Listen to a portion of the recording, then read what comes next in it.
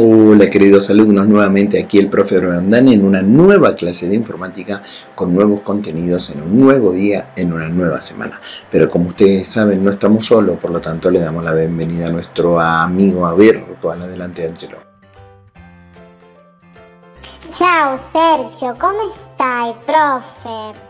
Bene, ho avuto una bellissima settimana e con molta voglia di incontrarvi nuovamente. Sí, nosotros también estamos muy contentos por tenerte aquí con todos nosotros. Y bueno, básicamente hoy vamos a hacer un trabajo súper especial. ¿Algo para comentar? Che andremo a vedere nella giornata di oggi, mio professore e amico Sergio Brandan?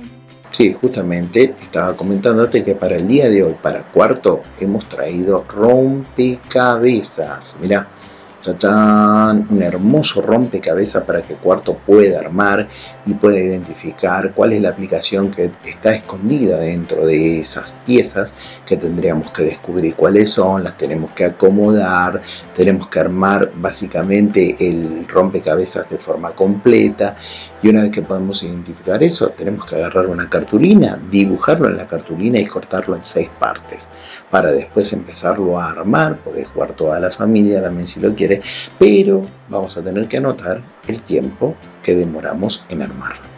¿sí? Esa es básicamente la estructura de cómo vamos a manejar la clase del día de hoy. Es más, de hecho, fíjate aquí en la actividad te dice, luego de haber escuchado y mirado con atención este video, anímate armar tu propio rompecabezas. ¿Sí? Perfecto. Y aquí están todo, todos los pasos detallados que lo que te mencioné anteriormente. Mira, identifica bajo este rompecabezas cuál es la aplicación que podemos encontrar.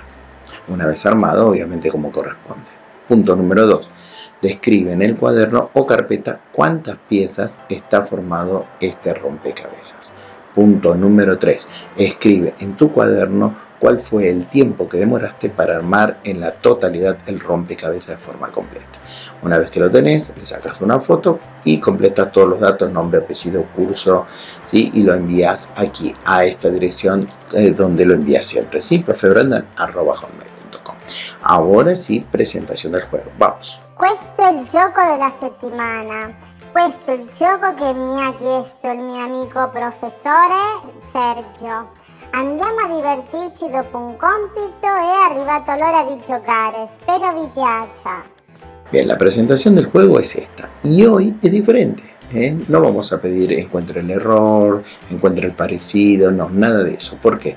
Porque te voy a dejar un link que si podés ingresar a este link desde el celu, desde la compu, donde vos quieras, te vas a encontrar con una página que justamente te va a ver aquí. Vamos a mostrarte porque cuarto eh, va a tener que armar su propio rompecabezas. Sí, lo escuchaste bien.